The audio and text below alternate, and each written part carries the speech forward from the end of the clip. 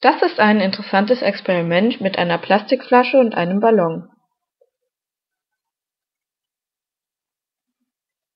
Du brauchst eine 1,5 Liter Flasche und musst ein Loch ziemlich weit unten hineinstechen. Nimm einen passenden Strohhalm und tue ihn in das Loch. Mache ihn mit Kleber fest.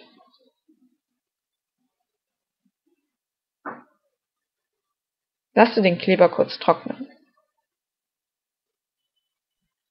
Nimm nun einen Ballon, tu ihn in die Flasche hinein und spann ihn über die Öffnung. Die Flasche ist jetzt fertig zum Experimentieren. Wenn man an dem Strohhalm saugt, bläst sich der Ballon auf.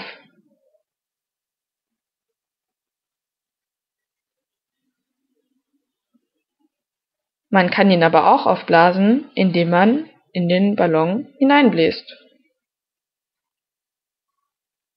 Halte den Strohhalm zu und der Ballon bleibt aufgeblasen, obwohl er oben offen ist.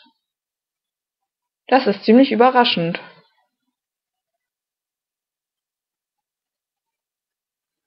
Probiere das nochmal aus. Puste hinein und sauge an dem Strohhalm. Viel Spaß beim Experimentieren!